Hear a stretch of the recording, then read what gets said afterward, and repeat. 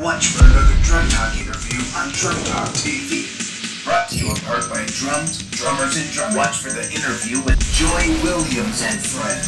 Hi, Dan Shinder here on Drum Talk TV with a special interview announcement. I'm interviewing four people at once. We're going to have the pleasure of attending a very special event. It's an all female drum clinic event called Glamour, Glitz, and Drumsticks. What a cool name! And these four women are very, very talented. How cool is this? So, to tell you all about it, I'm here with Joy. Joy, what is up with this event? Hi, first of all, Dan, thank you for covering this event. Very honored to have you do so. Oh, thank you, and we're very honored to be a part of it and be able to sit down with the four of you young ladies during the day before the event actually starts.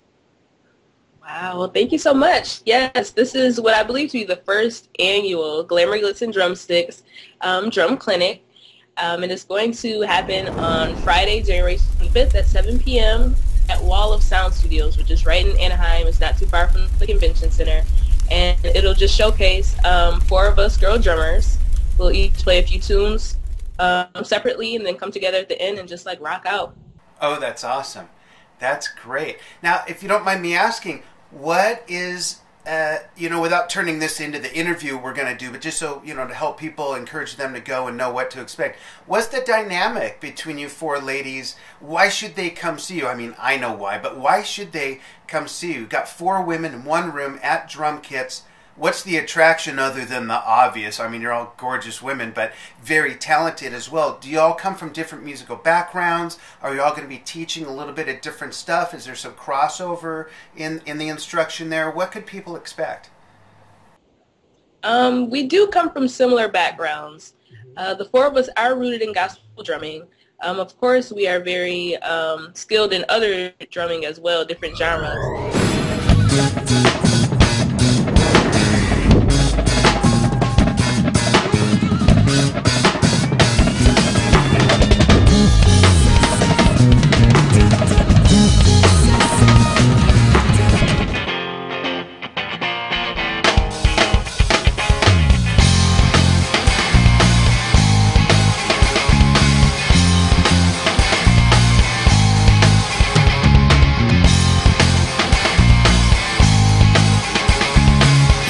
But our base is uh, what connects us is uh, coming from the church, which is kind of cool, gospel drumming.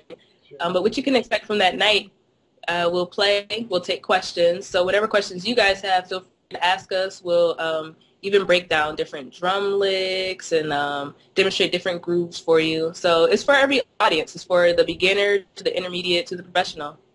That's awesome. And I just have to throw this out there. In today's world of such, I don't know, sometimes over sensitivity to everybody's sensibilities and uh, politically correctness and, and all that mess. You know, you mentioned gospel music and you folks play at churches. I just want to tell everybody it doesn't matter what culture you're from, what part of the world you're from, what kind of religion or spirituality you follow.